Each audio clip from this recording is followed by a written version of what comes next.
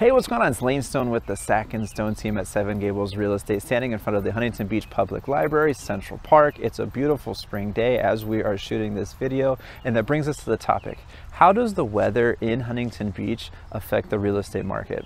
We all know for those of us that currently live in Huntington Beach or Orange County that there's no better place to live as far as the weather is concerned. Some other areas in the East Coast or around the country, they don't have the same luxuries that we do as far as weather as as we do here in Huntington Beach and Orange County. For example, we don't have to worry about shoveling snow in the middle of December off of our driveway just to show a home or having clients get in our car where we need to squeegee ice and frost off the windows. We don't have to worry about that. So we have the luxury of being able to show our homes for sale all year long. Yes, we have a little bit of a rain, season, but guess what? We can wear booties when we show the home, so we don't have to worry about that as much. So we don't have the effects of a seasonality here as, as you would see in other parts of the country or the world for that matter. So when you see national news about how it might be better to sell during the springtime as opposed to maybe during the winter season, that's because most of the other country and uh, other areas around the world have that effect. We don't have that here in Orange County yes, you may hear that in the spring market it gets really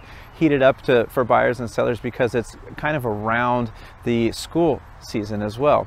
Uh, well, that could be a play an effect. That could play an effect. But let me tell you about this: during the winter seasons, there's more corporate moves to Orange County than any other time. So yes, well, you have a lot of people buying and selling during the spring season because of the school.